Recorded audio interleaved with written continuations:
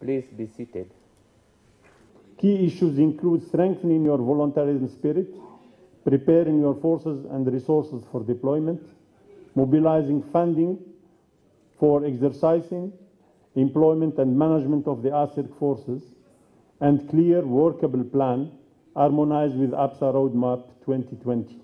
And I am happy that a decision has been taken at your level to recommend uh, a summit at the end of this year to our heads of state, which will be uh, generously hosted by uh, Chad and His Excellency President uh, Deby, and remain cognizant of the fact that African problems will only be solved by African solution and resources.